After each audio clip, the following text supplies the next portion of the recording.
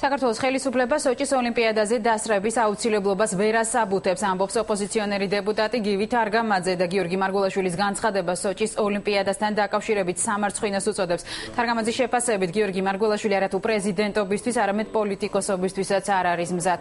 მისივე თქმით, სამწუხაროა, რომ მარგულაშვილმა რუსული ტელეარხისთვის მიცემულ ინტერვიუში არ ახსენა ოკუპაცია, საოკუპაციო ხაზის გადმოწევა და დევნილების დაბრუნება. თავისთავად იყო სრულიად სამარცხვინო ინტერვიუ, რა თქმა უნდა, როგორც ინტერვიუ, როგორც მომავალი ქვეყნის პირველი პირის ინტერვიუ, მისი პოზიცია ჩამოყალიბებული სოჭის ოლიმპიადაზე წასვლასთან დაკავშირებით. მე ვფიქრობ, რომ ესეთი უაპელაციო განცხადება არის სრულიად უპასუხისმგებლო.